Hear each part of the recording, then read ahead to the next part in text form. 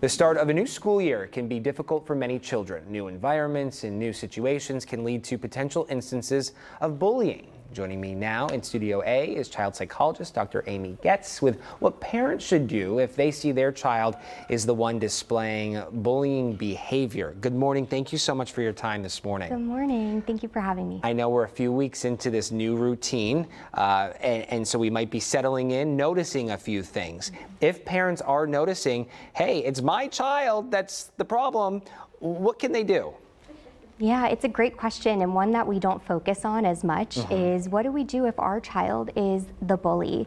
And so for parents, it's really important to listen, stay calm, and ask questions. Say, I take this really seriously and what, what's going on? I want to figure out how I can best help you and uncover the reasons mm -hmm. for why this happened. Yeah. And I just want to say too, if it's your child being the bully, you as their parent, you might have to dig a little bit, right? They're probably not going to be like, yeah, mom, yeah, dad, it's me. I'm the one that's hurting Susie Q's feelings. Yeah, yeah. It, so it really is important to have that relationship and to be able to ask questions. Yeah. Is this the first time this has happened? Um, is this something that is happening often? Um, and, and helping them see we take this really seriously yeah. and I want to get you help. Having that open conversation and really digging for the why mm -hmm. you're feeling this way, which is prompting you to act a certain way. Mm -hmm. Talk to us about uh, parents who are worried about helping if their child is being bullied, but what should they do if they find out if, if it's not their child and it's somebody else's child?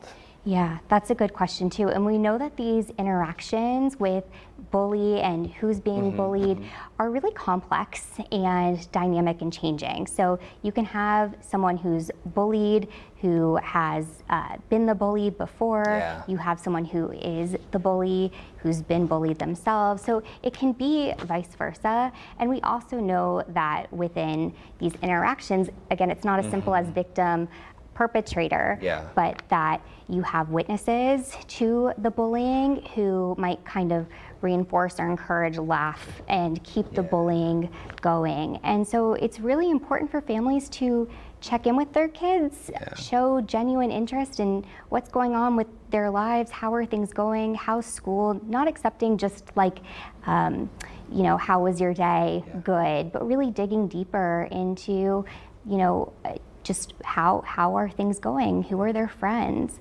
Um, I think that often with bullying, we don't want to wait for bullying to happen, but is there a way that we can introduce the topic mm -hmm, early mm -hmm. and just say, hey, I was listening to a news show this morning mm -hmm. where the mm-hmm. topic of bullying yeah. came up. Have you seen that before? What did you think? Yeah, that's a really great uh, peg, right, to use to, to be able to host this conversation. What if you, as a parent, notice uh, a child being bullied that doesn't involve you or your child? Yeah, yeah. It's really important to speak up and to help urge your child to be that voice. It, it takes all of us. It's really a community response. This is a public health issue, and the responsibility is on all of us to kind of um, look, look out and um, say when they see something. Yeah. With that said, it being it taking a community uh, what role do educators and coaches play in this? Yeah they absolutely do.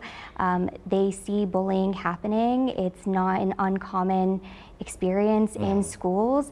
And so helping to mediate the problem, come up with solutions to the problem. Yeah. We know this happens in school. It also happens outside of school. Um, and so they do play a role in really helping to identify those incidents and help kind of resolve them when you and I were in school, the bullying was taking place in school, in the cafeteria, in the hallways during recess. Mm -hmm. Today, as you mentioned, it's spilling beyond the four walls of that of that campus. It's going into uh, homes through social media. Yeah, yeah, the types of bullying have really changed over time. It's not pushing a child into the locker, um, putting their head in the toilet. Um, it really has changed. There's lots of um, relational types of bullying, kind of excluding someone intentionally or online bullying. Um, kids have their phones on them and are often kind of capturing things that might be um, perceived as embarrassing or private, and it can really kind of make it out there into the world. And so, yes, uh, this is this is happening. I would encourage families to really kind of again establish those relationships with their child talk with them um, be engaged in what is going on on their phone who are they talking to what kinds of things are they doing um, and then if you see something that is concerning, um, really taking action. Yeah, taking action, and that can look differently depending on if you're the child or the mm-hmm. or an adult. But mm-hmm. doing something about it is certainly necessary. Yes, and so for most school districts, they do have um, policies around anti-bullying, mm-hmm. and um, uh, the social media platforms too also have terms of service are incorporated to in bullying. those yeah those mm-hmm. policies okay well dr goetz thank you so much for joining us this morning thank you really important me. conversation to be having we appreciate it